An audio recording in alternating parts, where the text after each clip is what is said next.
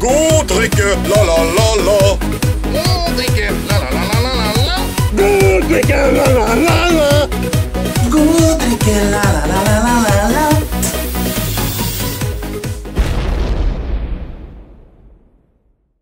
Hei igjen! Velkommen til episode 46 av God drikke.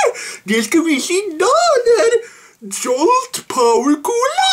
Ja, da er det bare å åpne boksen, da. Og så heller jeg den i et glass, så ser dere fargen. Nei, jeg bare tulla. Alle vet vel åssen cola ser ut, vel? Nei da, jeg bare tulla. Jeg tar den i glasset for sikkerhets skyld. ja. Man vet jo aldri. Ja, det ser da ut som cola, så. Ja. Eh, Smaker jeg på den, da?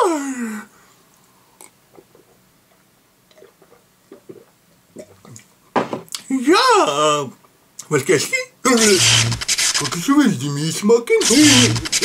Hva som skjer med meg, skjønner jeg ingenting. Men jøsse navn, da. Hva som skjer med meg? Jeg blir helt forskrekka. Jeg har aldri opplevd noe sånt før. jeg. Skjønner jo ingenting. Merkelig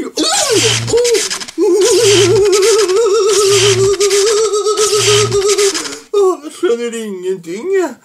Gud, men hvis jeg skal i terningkast, så kan jeg si Ja, du har litt lite smaken. Så kan du si terningkast tre, da. Altså Jolt Power Cola. Terningkast tre. Ha det.